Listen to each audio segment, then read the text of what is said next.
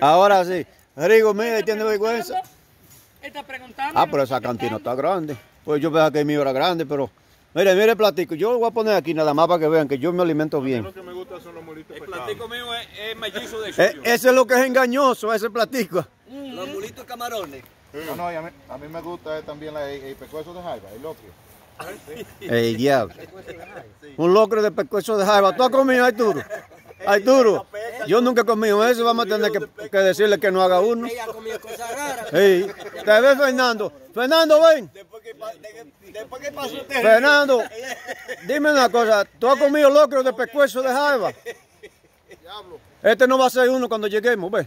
No, pero mejor que me haga un locrio de, de arenque de, de cacao. De cacao. No, sí. bien. Está bien. fácil.